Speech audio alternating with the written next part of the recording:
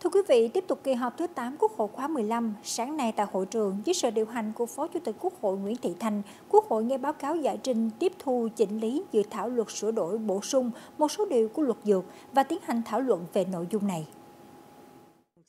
Trình bày báo cáo giải trình tiếp thu chỉnh lý dự thảo luật sửa đổi bổ sung một số điều của luật dược, chủ nhiệm Ủy ban xã hội Nguyễn Thúy Anh cho biết, về chính sách của nhà nước về dược và chính sách phát triển công nghiệp dược, dự thảo luật đã được chỉnh lý theo hướng sửa đổi toàn diện điều 7 của luật hiện hành để quy định các chính sách chung của nhà nước về dược, quy định chính sách ưu đãi hỗ trợ đầu tư trong phát triển công nghiệp dược tại điều 8 sửa đổi, còn quy định liên quan đến thuế thu nhập doanh nghiệp sẽ được xem xét khi sửa luật thuế thu nhập doanh nghiệp.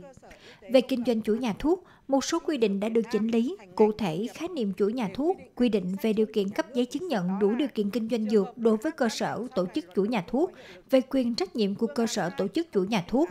về kinh doanh thuốc, nguyên liệu làm thuốc theo phương thức thương mại điện tử. Tiếp thu ý kiến của đại biểu, Ủy ban Thường vụ Quốc hội đã chỉ đạo chỉnh lý theo hướng bổ sung các hành vi bị nghiêm cấm, quy định loại thuốc, nguyên liệu làm thuốc, các phương tiện điện tử cụ thể được phép kinh doanh theo phương thức thương mại điện tử, quy định trách nhiệm của cơ sở kinh doanh dược theo phương thức thương mại điện tử.